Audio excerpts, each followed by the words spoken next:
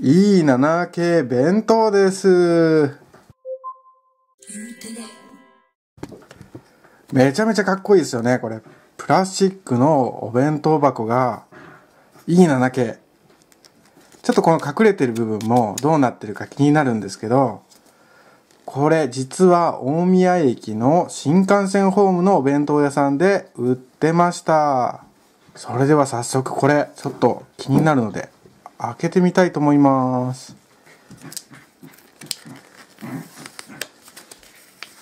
はい、ラベルシーを剥がすと、すっと、おおすごい。これは完全にいい7系ですね。これどうやって開けるんでしょうか？やっぱ上下かな？てってっててて、じゃーんははは、これシールでくっついてて。はーい。こんな感じです。フォーク。はい、子供には嬉しいですよね、こういうフォークは。食べやすくて。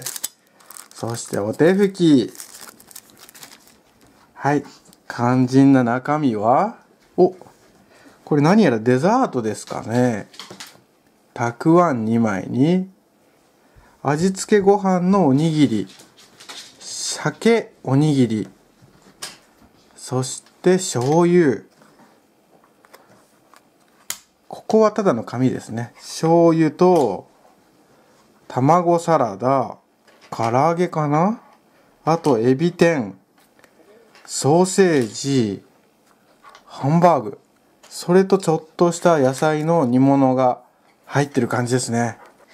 栄養バランスもいいですし、はい、ご飯もこれだけ入ってれば、子供には十分ボリュームがありますね。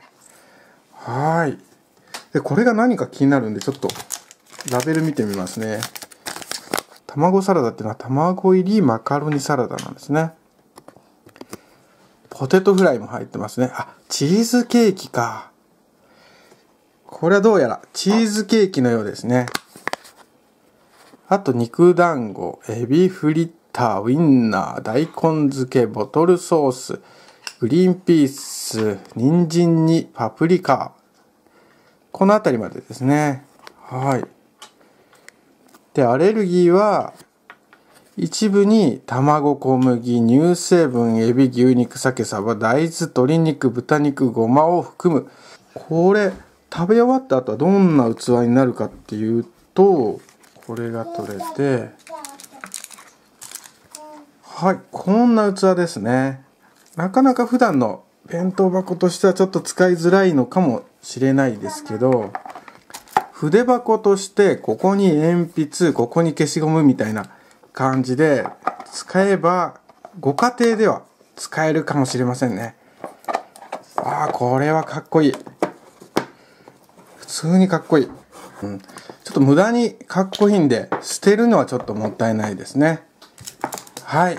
そんな感じの E7 系お弁当でした。バイバイ。